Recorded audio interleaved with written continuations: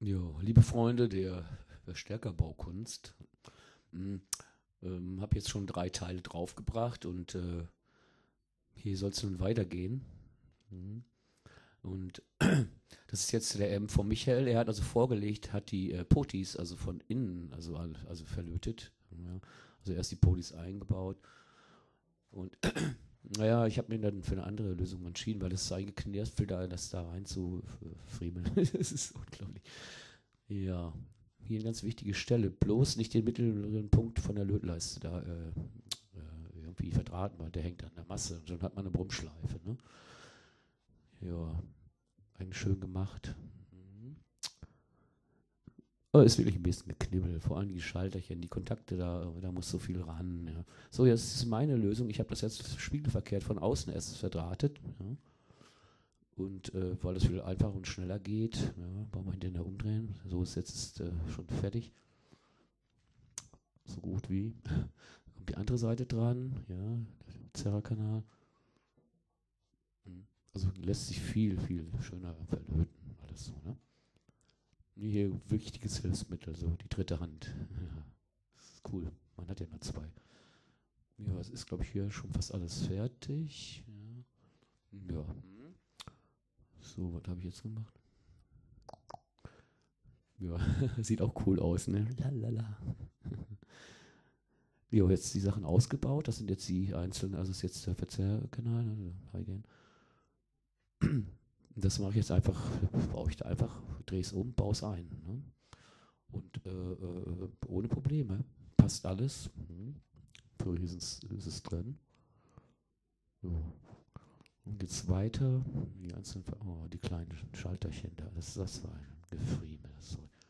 Jetzt vom Trafo die Leitung zu, zu dem ähm, Ausgang. Äh, ja, was habe ich jetzt? Ja, genau. Ja, ne? Das ist eigentlich, das ist eigentlich sehr, sehr easy so zu lesen im Plan und die Friemeleien, den Schalterchen, nicht richtig Krise irgendwie hatte ich dann Konzerte falsch, dann hatte ich dann wieder der ausgebaut. Äh, ja, so sieht das denn aus bisher. Hm. Ich versuche immer die Leitung ganz eng an also, äh, die Seiten zu legen, damit da nichts um reinstreut. Ne? Ich habe viele Schaltungen gesehen, wo das dann einfach in der Mitte rumgeknurpselt worden ist. Kein Wunder, dass das dann brummelt. Ne? Also hier die Lösung, äh, ganz wichtig, also hier diese Masse-Ding direkt an die Masse führen, nicht jetzt extra da den Mittelpunkt bloß weglassen da. Das Jo, jetzt habe ich hier begonnen, die äh, abgeschirmten Leitungen zu legen, ne, zum Röhren und so. Hm, war ein bisschen Kniffel. Aber versucht irgendwie das äh, nicht irgendwie über die Heizleitung also, oder, oder, oder mit anderen Sachen zu verbinden. Einfach locker drüberlegen. Ja? Äh, Michael, ja, ich hatte vorgelegt, er guckt jetzt bei mir ab und macht's nach. Ja, sieht jetzt bei ihm aus? Oder? Ja, ist bei ihm. Ja, ähm, da liegen die zwei Teile. Noch ist kein Ton rausgekommen. Ne? Aber es ist fertig eigentlich. Mhm. Und das war der erste Test von Michaels Amp. Ja. Und mit der Akustikgitarre über den Clean-Kanal, also wirklich astrein, ja. Also kaum, also ganz, ganz, ganz wenig Rauschen. Das ist meiner. Ich habe den, äh, grünen Schalter eingebaut, weil ich den roten nicht zerlötet. Und auch die schönen Booties jetzt drauf gemacht, die äh, wirklich klasse sind, so blinken. Ja, so und hinten die Aktion. Die Box muss noch ein bisschen bearbeitet werden.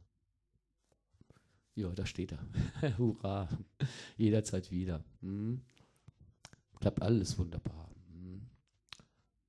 Von hinten eingeschliffen noch. Das geht auch nur beides gleichzeitig nicht. So, äh, äh, wünsche irgendwie noch einen schönen Tag.